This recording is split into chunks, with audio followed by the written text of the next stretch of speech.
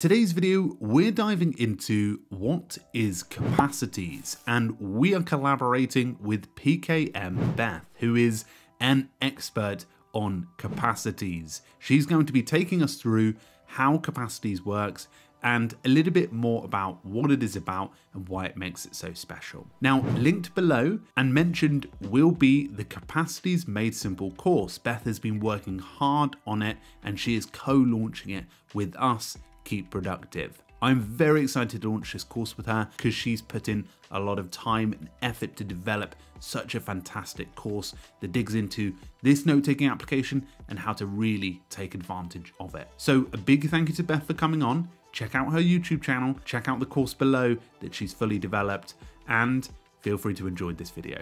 Thank you very much, folks. Capacities is a network note taking app that is based on the idea of objective note taking. What is this and why is it different to other apps?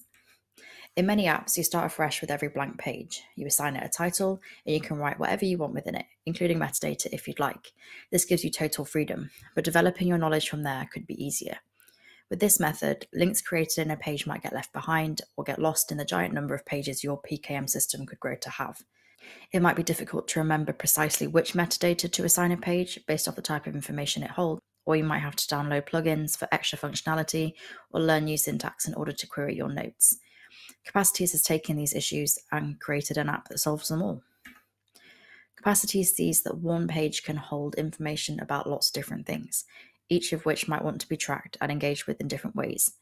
These different types of information are what Capacities calls objects or content types. These terms are interchangeable. Some examples of these include books, people, media, themes, or projects. Capacities then gives you the structure and space to strengthen your knowledge on these component parts through storing these content types or objects in databases. You define what properties each database has. You can add as many or as few as you'd like, and you can change them as your system goes on. You basically design what works for you. Once set up, each new piece of content within this content type automatically has these properties applied. Working like this is what capacities calls objective note taking. All content belongs to one object, and that is the starting point for your notes. Therefore, you are breaking down knowledge into its component parts and engaging with it in the way that suits that type of information, which means the knowledge itself is championed on a really granular level.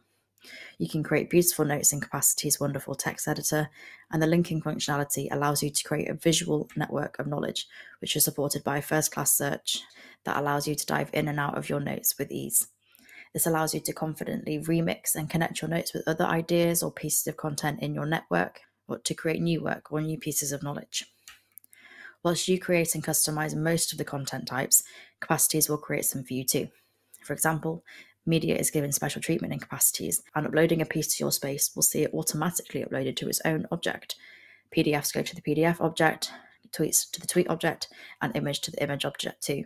And as you can see from the picture on the screen, it supports more types of media as well.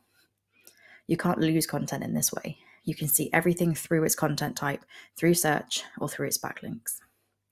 Capacities just really seems to put things where you need them, as many times as you need them, and whatever format you need them in. There are no folders, so you don't need to spend any time organizing your notes really, and there's certainly no difficulty remembering where the notes are. It lets you view things how you want to as well. Do you prefer a table structure, a list, or my personal favorite, the wall view? There is no need for plugins. You can see all of your knowledge in front of you. It just works. This app is developing fast and it has a wonderful team behind it and a growing community, which is most active on the Discord channel.